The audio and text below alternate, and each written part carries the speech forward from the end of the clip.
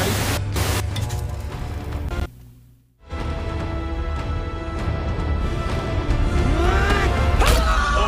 Two, zero, pet!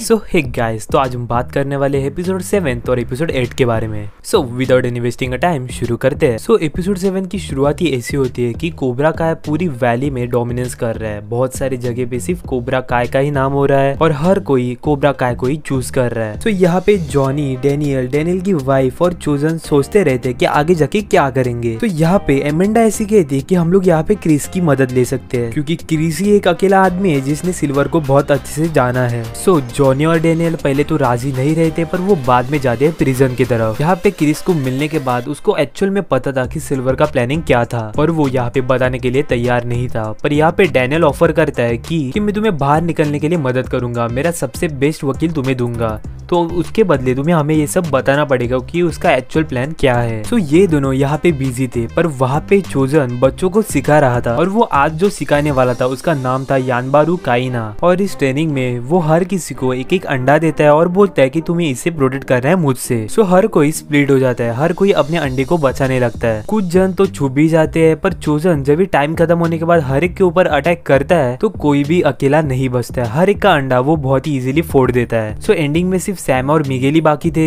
और वो छुपे थे डोजो के अंदर वाले रूम में। और इनकी बातों ही बातों में इन दोनों का भी ध्यान नहीं रहता और चोजन इन दोनों के भी अंडे फोड़ देता है। सो चोजन, उन सबको कहता है कि तुम्हें ये सब सीखना ही पड़ेगा। अगर तुम ये नहीं सीख गए तो तुम सबसे पीछे रह जाओगे। और वो फिर से इन सबको अंडे देता है। और यहाँ पे एंथनी का भी दिमाग चलता है। वो कहता है की अभी हम सब अंडे एक साथ रखेंगे और हम सब एज अ टीम काम करेंगे। वो सारे के सारे अंडे एक बास्केट के अंदर रखते हैं और चोजन को रोकने लगते हैं। और यहाँ पे सारे के सारे जन पूरे फोर्सफुली उसे रोकने के ट्राई करते हैं और वो कामयाब भी होते हैं। तो यहाँ में अंत में चोजन कहता है कि मैं हार गया, यानी कि कोबरा हार गया। यही मुझे तुम्हें सिखाना था कि वो सारे बर्ड्स उड़ तो नहीं सकते थे, पर वो झुंड में रहते थे, इसलिए कोबरा उनके अंडे खा नहीं पाते थे। वैसे ही अगर तुम सारे जन एक साथ रहोगे तो तुम्हें कोई भी तोड़ नहीं पाएगा। वो कोबरा का हर एक जगह पे फैल चुका है, पर उनकी जड़े इतने भी मज़बूत नहीं है, पर तुम्हारी जड़े बहुत ही मज़बूत है, क्योंकि तुम सब लोग साथ में हो। तो सारे के सारे किड्स बहुत ही वैल्यूबल लेसन सीखते हैं, पर अभी स्टोरी जाती है कोबरा काय में, जहाँ पे किम और सिल्वर डिसाइड करते हैं कि हमारे बच्चों में से कौन एक्चुअल लीडर है, वो ढूंढ के निकालते हैं। और यहाँ पे वो सारे के सारे बच्चों के अंदर अलग अलग पेयर बनाने लगते हैं और कहते हैं कि तुम्हें अभी अटैक करना है तुम्हारे सेंसेस के ऊपर। और जो एक्चुअल में कामयाब होगा, वो रहेगा तुम्हारा एक्चुअल लीडर सो पहले तो यहाँ पे कोई भी कामयाब नहीं हो रहा था। बाद में सिल्वर केनी को बुलाते अपने ऑफ़िस के अंदर और वो उसे कहता है कि तुम्हारे अंदर बहुत सारी पोटेंशियल है,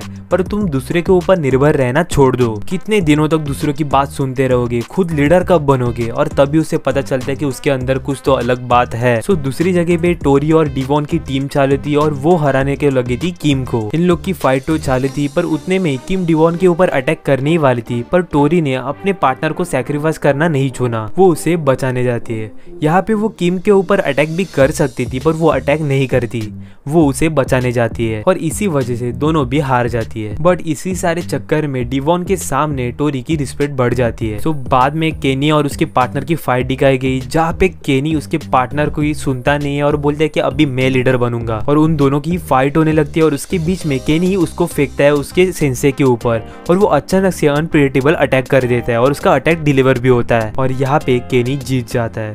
इसके बाद स्टोरी जाती है जॉनी और डैनियल की तरफ़। तो यहाँ पे डैनियल कहते हैं कि ये लो मेरे वकील का नंबर पर उससे पहले बताओ कि उसका क्या प्लान है। सो क्रीज यहाँ पे सिल्वर और उसकी कुछ पुरानी यादें बताता है। और वो बताता है कि ऑल वैली टूर्नामेंट से भी बड़ी एक टूर्नामेंट है और उसके अंदर उसको पार्टिसिपेट करना था। और अगर इतने इंटरनेशनल कंपटीशन में अगर वो लोग जीत गए तो सारी ही तरफ़ कोबरा काय का नाम हो जाएगा और कोबरा काय सारी तरफ़ फैल भी जाएगा। और इतने बड़े कोबरा काय को हराना कभी भी पॉसिबल नहीं होगा। और यही सिल्वर का मेन मोटिव था।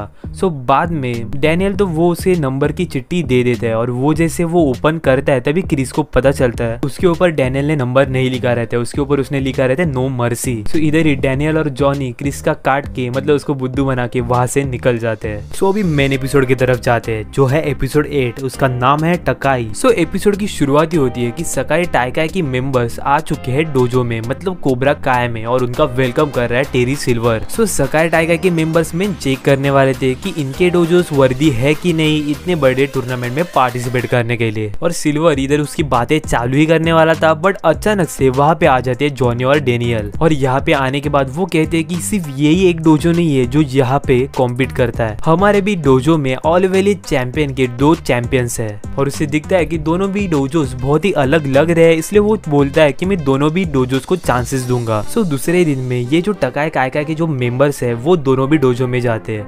और वहाँ पे वो देखते हैं कि दोनों भी डोजोस कितने अलग है। मियागिडो अपनी जूनी पुरानी परंपराओं को बहुत ही अच्छे से फॉलो कर रहा है और यहाँ पे ये लोग अपने टेक्निक्स और नई सारी इक्विपमेंट पे फोकस्ड है। और वहाँ पे जॉनी के भी कुछ ट्रेनिंग मॉन्टेज में बहुत ही फनी से सीक्वेंस थे पर वो भी उनके फेवर में ही रहते। मुझे लगा था कि वाट लग जाएगी यहाँ पे पर ऐसा कुछ नहीं हुआ।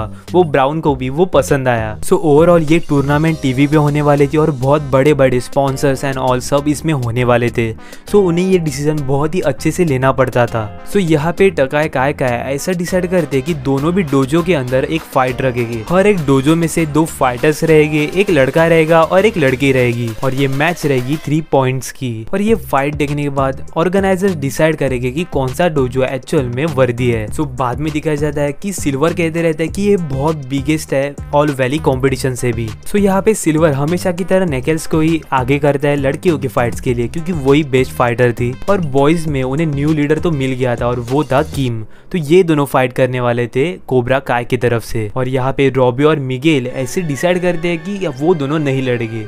यहाँ पे मेन लड़ेगा वो रहेगा हॉक और उनकी तरफ़ से सैम ही स्ट्रॉन्गेस्ट फीमेल फाइटर थी तो वो तो आने ही वाली थी। सो so, फाइटिंग का डे आ जाता है और वहाँ पे फाइट होने वाली थी टोरी वर्सेस सैम की और किम वर्सेस हॉक की। तो यहाँ पे पहली फाइट रखी गई थी बॉयज़ की सो वो दोनों भी सामने आ जाते हैं। तो यहाँ पे दोनों की भी फाइट चालू होने लगती है। हॉक पहले डोमिनेट करने लगता है और उसका फ़र्स्ट अटैक डिलीवर भी होता है। बट यहाँ पे जो रेफरी था, वो था सिल्वर के साइड से। सो वो उसे पॉइंट ही नहीं देता। और बाद में थोड़ा किम उसके ऊपर भारी पड़ने लगता है और बाद में एक पॉइंट ले भी लेता है। और यहाँ पे सिल्वर ने किम को एक अलग ही टेक्निक सिखाई थी, जिसके अंदर छाती के बीच में एक अटैक किया जाता है और उसके बाद सामने वाला अपोनेंट थोड़े के लिए अनकॉन्शियस हो जाता है और उसको ब्रीदिंग लेने के लिए थोड़ा सा प्रॉब्लम होने लगता है। और यही अटैक किम उसके ऊपर बराबर से यूज़ करता है और हॉक यहाँ पे नीचे गिर जाता है। और तभी रेफरी फटक से कह देता है कि ये फाइटर उठ नहीं पा रहा है और हार मान चुका है, इसलिए जीत गया है किम सो बॉयज़ की फाइट तो कोबरा का इजीली जीत गया था तो अभी फाइट होने वाली थी गर्ल्स की। और यहाँ पे टोरी का बहुत अच्छे से ध्यान था सिल्वर के ऊपर कि वो यहाँ पे फिर से बेईमानी कर रहा है। और टोरी को यही बेईमानी पसंद नहीं आ रही थी। वो डोजो में भी सिर्फ़ क्रिस के कहने पे ही रुकी हुई थी, पर अभी उसे पता चला था कि क्रिस बाहर नहीं निकलने वाला है तो अभी इसका माइंडसेट हो जाता है कि यहाँ पे रुकने के लिए अभी कुछ भी वैलिड पॉइंट नहीं है, इसलिए टोरी मैच से पहले ही गायब हो जाती है। सो टोरी किधर भी मिल नहीं रहती है, इसलिए किम तय करती है कि इधर फाइट करेगी डिवॉन। सो सैम और डिवॉन की फाइट तो चालू हो जाती है, और यहाँ पे रेफरी फिर से वही फालतूगिरी करते रहता है। जैसे कि सैम का अटैक बहुत ही परफेक्टली लग रहा था, पर वो वहाँ पे पॉइंट नहीं दे रहा था, कुछ ना कुछ एक्सक्यूज दे रहा था, जैसे कि शोल्डर के ऊपर है ब्ला ब्ला ब्ला ब्ला तो टाइम आउट लेने के बाद जॉनी और बाकी सब लोग उसे ऐसा कहते हैं कि तुम ऐसा अटैक करो कि जैसे कि रेफरी को भी मानना ही पड़े कि यह अटैक बहुत ही वैलिड है। सो बाद में सैम बहुत ही दिमाग से खेलने लगती है और बहुत ही अच्छे से अटैक करती है कि जैसे कि सबके सामने ही वो अटैक डिलीवर हो पाए। और ऐसे अटैक करने के बाद सैम बहुत ही इजीली तीन पॉइंट मिला लेती है और ये फाइट जाती है सैम की तरफ़। सो दोनों भी डोजो को एक एक पॉइंट मिल गया था। सो यहाँ पे सकाई टाइका फ़र्स्ट अनाउंस करते हैं कोबरा काय का नाम। पर वो बाद में ये भी कहते हैं कि हमें दोनों डोजो भी पसंद आ गए, अगर दोनों भी डोजो इस टूर्नामेंट में रह गए तो ये बहुत ही अच्छा होगा, क्योंकि उनके अंदर उन्हें बहुत सारे क्वालिटीज दिख रहे थे, इसलिए वो मियागिडो और वो जो ईगल फैंग का जो कॉम्बो है, उनको भी इन कर लेते हैं। सो यहाँ पे जॉनी और डैनियल को वो पूछते हैं कि तुम्हारे डोजो का नाम क्या है? सो दोनों भी एक दूसरे का नाम लेते हैं मतलब कि डोजो का, पर वो उन लोग का यहाँ पे फिक्स नाम नहीं रहता।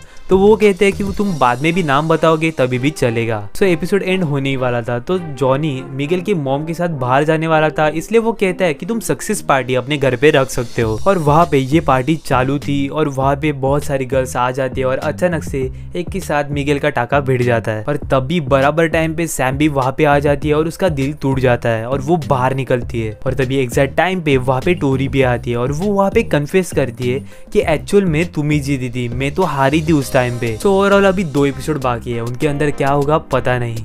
बट ओवरऑल मज़ा तो बहुत ही आ रहा है। और ये सब सेटअप नेक्स्ट सीज़न के लिए किए जा रहा है, ये तो मुझे पता चल रहा है। पर लास्ट के दो एपिसोड में अभी ये लोग क्या दिखाएगी, वो देखना पड़ेगा।